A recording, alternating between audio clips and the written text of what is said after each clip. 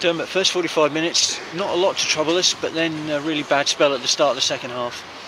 Well, I, I wasn't happy at half time. I said that I thought we, you know, I played Matt to go aerially, but I thought we didn't do anything else. I just thought we was kicking onto Matt, we were playing onto Matt into their bunch of players. We didn't have any uh, courage to play out against the team that were right on it. Um, and I think we reverted just to playing aerial uh, percentage football. That Which is really, not what you like, and not. It's not a case of not what I like. It's a case of like it's you know we've been doing well on playing.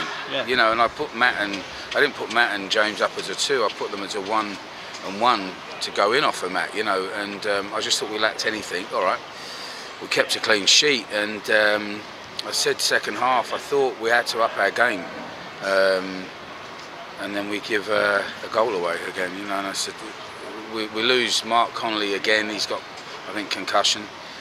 Um, and so I've got a young centre half in there. We've lost Joe McNerney, so uh, two really experienced centre halves gone. Josh Yorwerth from now coming have to come into it. Um, so really, it's hands to the pumps, and uh, you can't gift goals. And I keep saying that every week.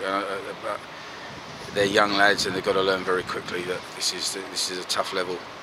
Um, but unfortunately, I, I, I'm without experience, and we've got to deal with that.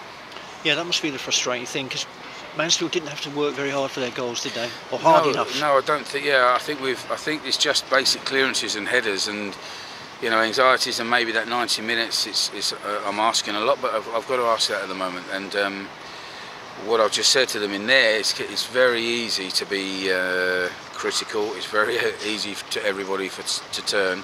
Um, but we showed some spirit to get the goal.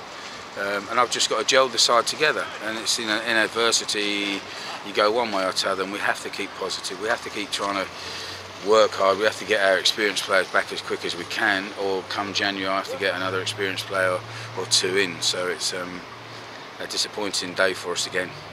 Yeah, 3 0 down, it could have, gone, could have got a lot worse. But to be fair to the boys, in the last 20 25 minutes, they did stick at it, got a goal. Back. Well, I went three at the back because I had to with Alex Davey. We left him on for a period, but he, you know, I think he smashed his shoulder on the post. He tried to go on, and then it's calamitous for the third goal, Glenn.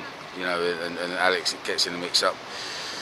Um, and then the game's out of reach, but you know, Bolton come on, give us a bit of life. Matt gets a goal, um, but their tails are up and they're chomping at the bit for their new manager and I thought they had three men around the ball everywhere. And then if you don't move the ball quickly, team that, that team today sort of were more aggressive than us, and we can't play slow football. Um, so we've got to we've got to sort of recover and go to Yeovil with a strong mentality, and that's going to be tough. And we're in it. We're in it. We're in the uh, situation that we don't want to be in, which is sort of not having a win. But you've got to get character and dig a win out.